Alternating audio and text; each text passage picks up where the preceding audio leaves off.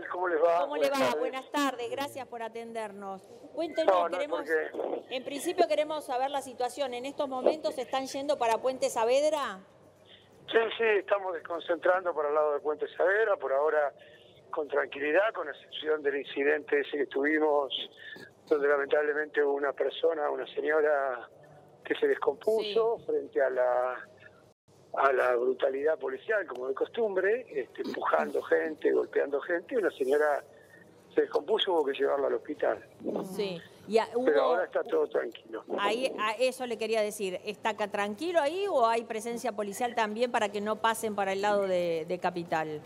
Sí, recién insólitamente estaba la policía de la ciudad que impedía a la gente subir para tomar el, el, el- el colectivo arriba en la autopista y fui a hablar ahí con el jefe de la policía y digo, queremos volver a nuestras casas. Claro. ¿Por qué impiden que la gente suba arriba a tomar el colectivo? ¿No los dejaron? también No, al final se fueron. sí, al final se dieron cuenta que estaban haciendo el ridículo y se fueron. Ah. Como todo el operativo ridículo que arma la señora Patricia Bullrich, con una enorme cantidad de dispositivos policiales dignos de una guerra, no dignos de un reclamo y de la atención de un reclamo. Si, esta, si, estas, si este dispositivo se armara en los barrios, a lo mejor mermaría un poco el nivel de narcotráfico desembosado que hay por todos lados y que por supuesto nadie combate porque son cómplices. Por eso van a blanquear capitales ahora con la nueva ley impositiva. Eduardo, eh, ¿lo recibió alguien? ¿Pudieron llegar a dejar un petitorio, reunirse con algún eh, funcionario?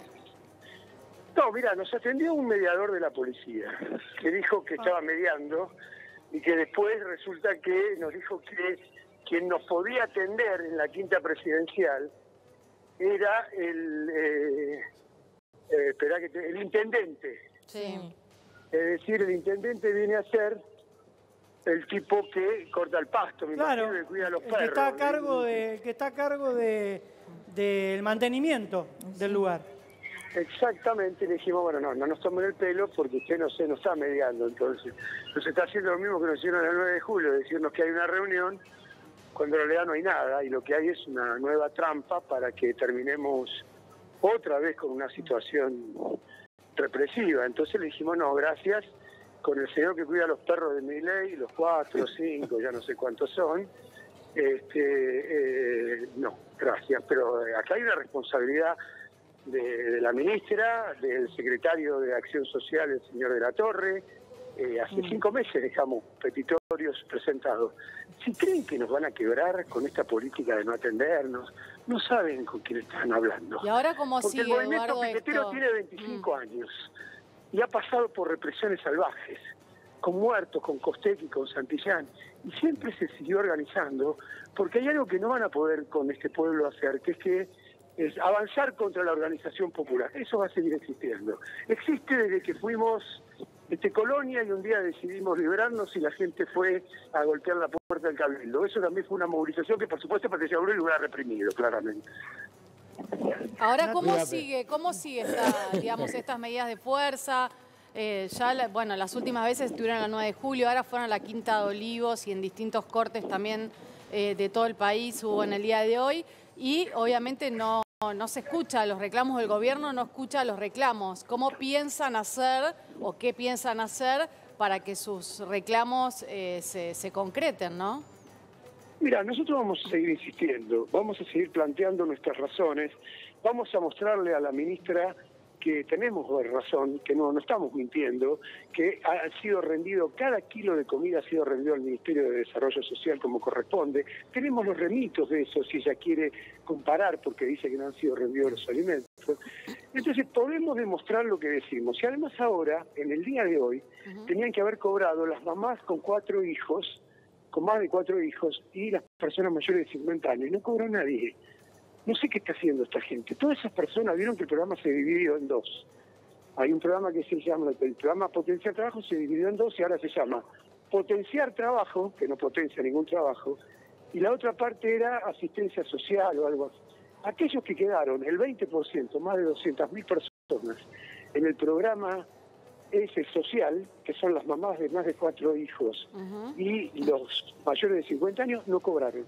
Nadie cobró ni siquiera la miseria de ese programa social. ¿Por qué? Nadie sabe, porque no hay interlocución, porque no hay diálogo, porque no hay nada, y una señora que se llama Petovelo, que no sabemos lo que hace, ni a qué se dedica, porque no, no le vemos una actividad ni en los barrios, ni en, las, este, ni en los lugares donde eh, la- la- la- las personas vulnerables viven.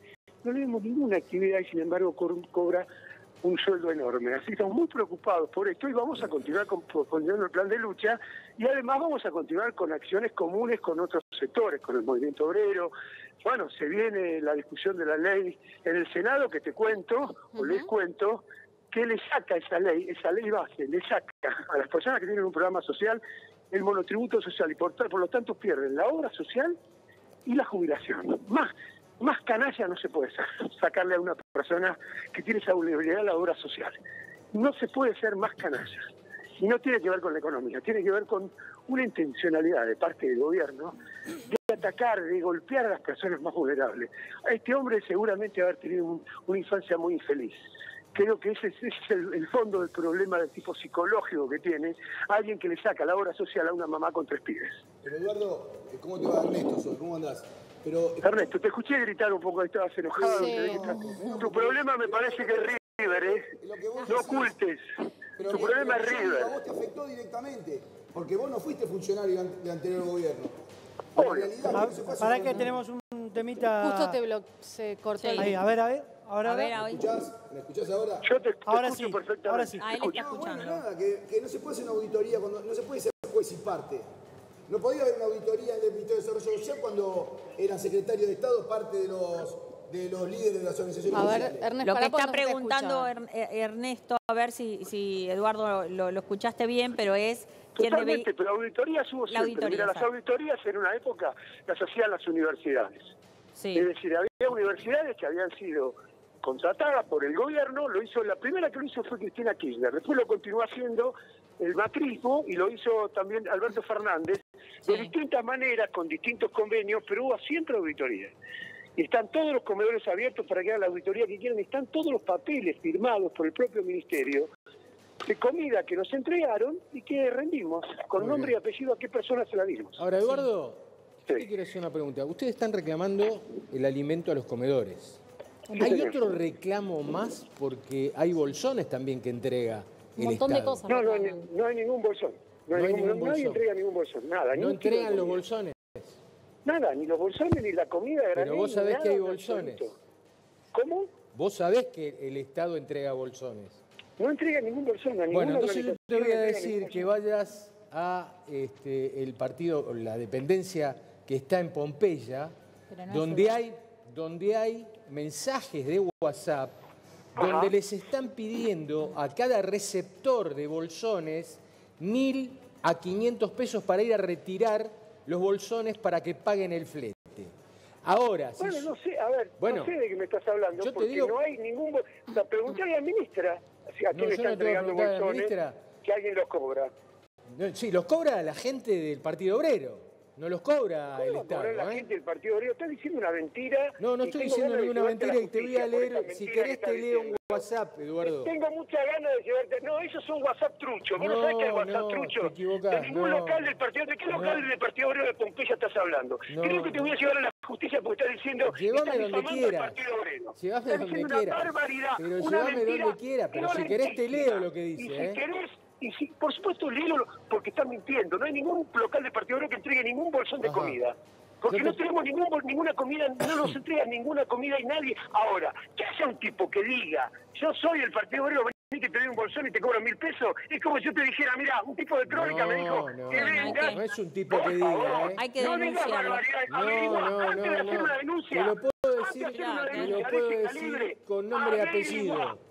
Te invito a que vayas al local lo voy- conmigo. o lo voy a hacer. al local. Lo voy a hacer ¿A y vos cuando... decís que le vende? Bueno, eh, primero y hacelo te voy a, y te- la venite al ¿cómo lo vas piso donde quieras, pero yo te voy a hacer que me No, acompañes. que- Quiere decir que que no averiguaste acompañes. nada. No, no, si no, lo vas sí. a averiguar ahora, quiere No, decir que no averiguaste ahora nada. no lo Te averiguo. un WhatsApp. Te llegó Mirá, un WhatsApp Eduardo, y lo estás yo te voy a explicar. Yo te voy a Es una explicar, sí. parte Sí, tuya. te voy a explicar algo. Hay videos, yo tengo videos, donde referentes del Partido Obrero piden listas para que Por ejemplo, concurran. Por ejemplo, ¿Para qué que- concurran? que el Partido Obrero. Nombre y apellido. ¿Qué un referente? A vos no te lo tengo que decir, se lo voy a decir a la ¿Qué justicia. referente? A vos no te lo tengo que ¿qué decir, se lo voy a decir a la justicia? justicia. Pero, ¿te das Hay videos. ¿Te das cuenta que Hay videos donde se ven qué referentes retirando Vos- vos- bolsones. No, no, yo con esta Retirando bolsones. No. No, no, Acá los delincuentes son ustedes. Que al tipo que se está cagando de hambre le cobran.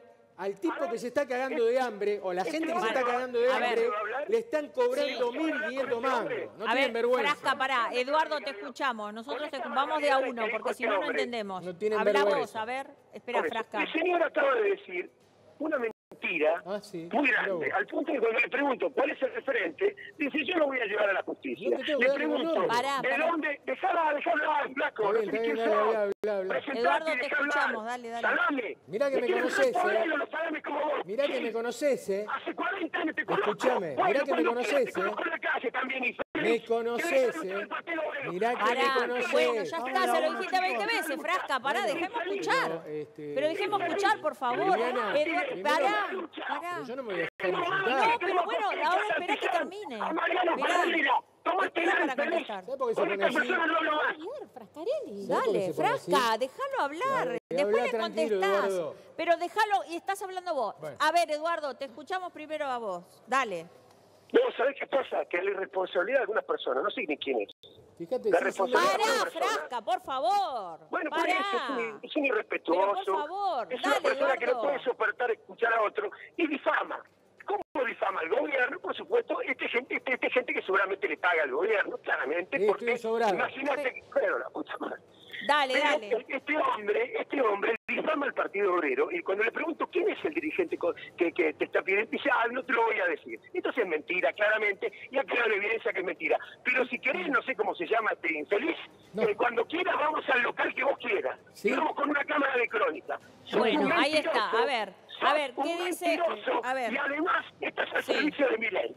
Y un sinvergüenza que le está sacando la comida a la gente. Punto. Bueno, ahí te escuchamos perfecto. Entonces, a ver, Eduardo. eh, ¿Hay, hay denuncia de esto, ¿Qué querés? Claro, Vamos hay- de hay uno, uno y denuncia. uno. Pues se puede Es un hablar. adelanto. Ah, mira. Un adelanto de adelanto. quién. Es un adelanto que te doy, nada más. Y yo Va a te haber lo una expliqué. denuncia. ¿Va a haber una Y yo ya denuncia? te lo expliqué la otra vez. Para que Sí, Eduardo sepa. Sí, sí, va a haber una denuncia. Eso. Evidentemente, Eduardo, eh, eh, si, si dice que hay un video...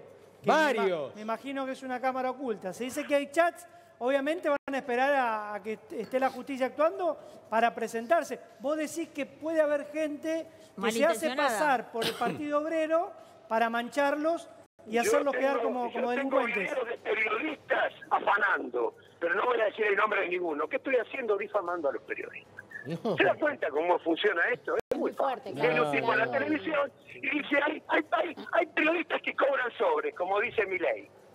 Y después cuando me preguntan qué periodista, digo, ah, no, no, no, no lo voy a decir.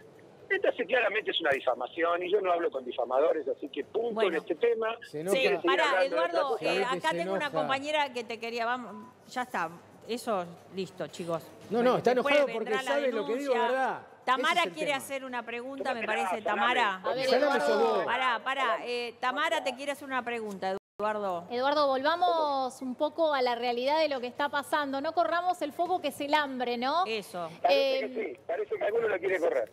Bueno, por eso. Concentrémonos en la gente que está pidiendo básicamente comer. Hoy se dio una discusión acá en el piso sobre que la CGT no es lo mismo que las organizaciones sociales. Yo te quiero preguntar a vos sobre eso y sobre también algo que se dijo que es eh, cómo se financian en estas organizaciones.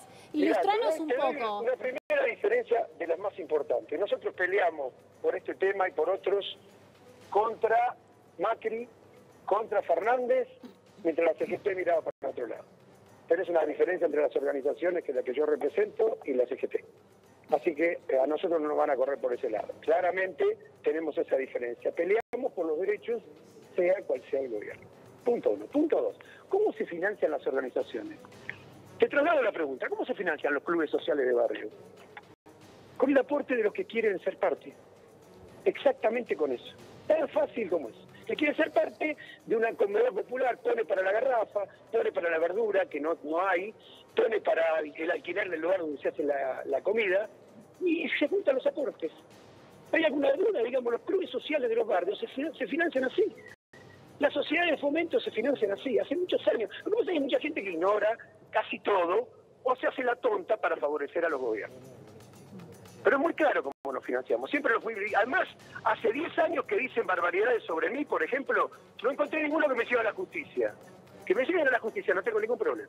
Eduardo, hoy estábamos hablando... Sí. Ahí te voy a dar el nombre del referente que vos decís que no conocés, quizás no lo conocés. Se llama Jeremías Cantero.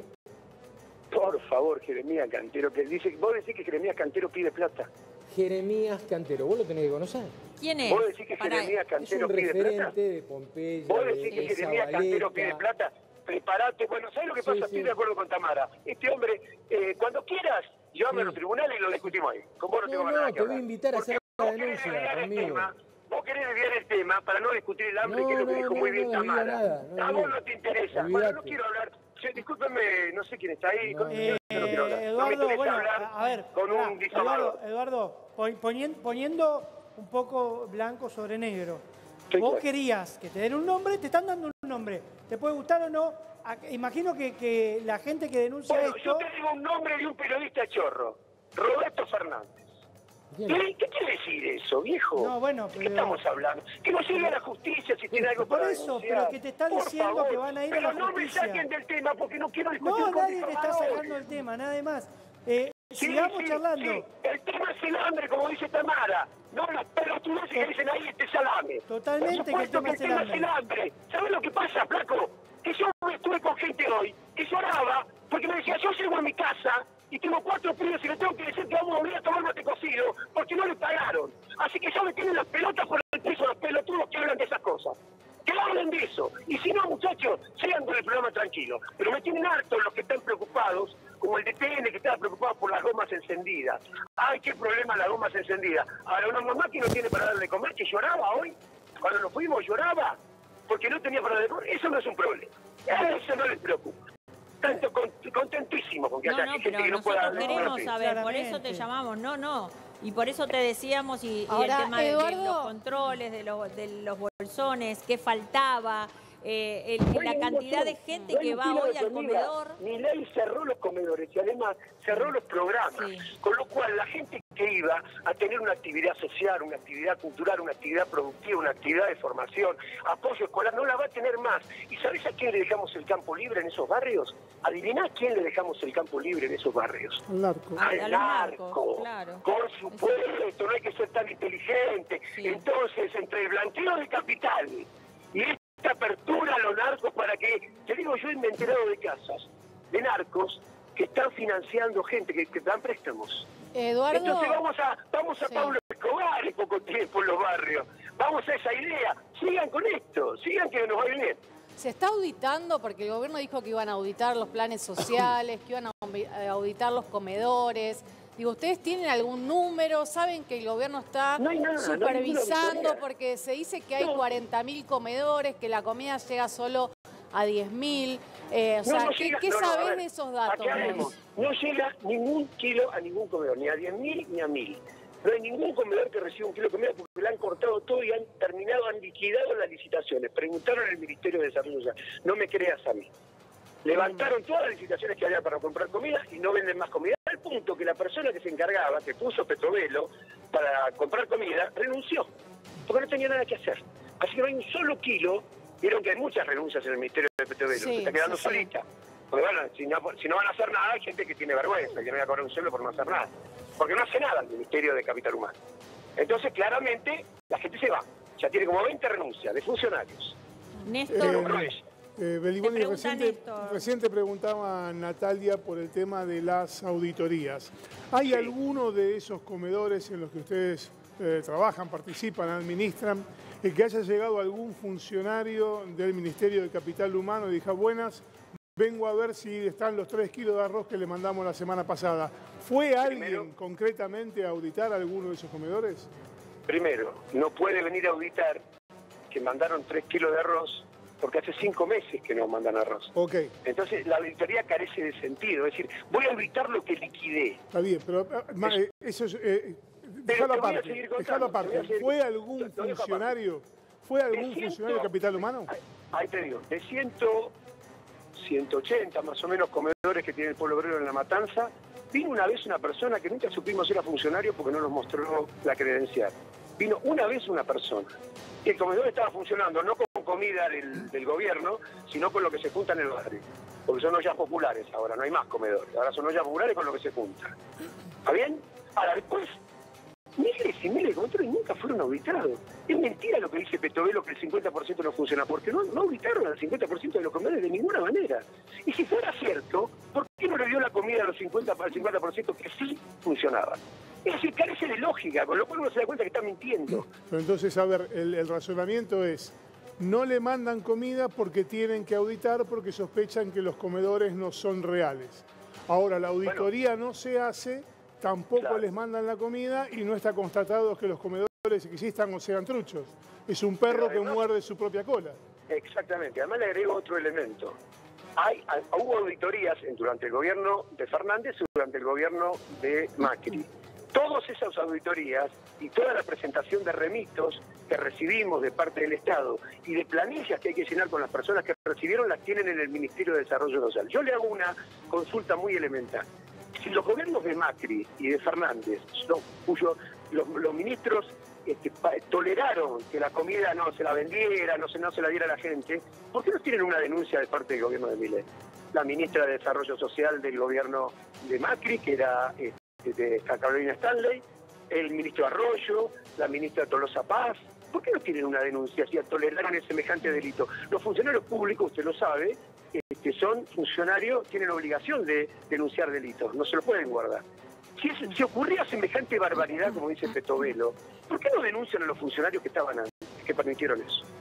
Eduardo, te pedimos que te quedes ahí. Tamara, ¿podés hacerle la pregunta que querías hacerle a Eduardo para dejarla un Dale. minutito en suspenso? También se la vamos a trasladar ahora que está entrando a Oscar el Colo de Isasi, secretario general de ATE. La pregunta para que contesten los dos. Bueno, quizás, eh, a ver, lo que yo estoy preguntando es, quieren, eh, básicamente, es cómo están hoy las organizaciones sociales en esto de la eliminación de la intermediación.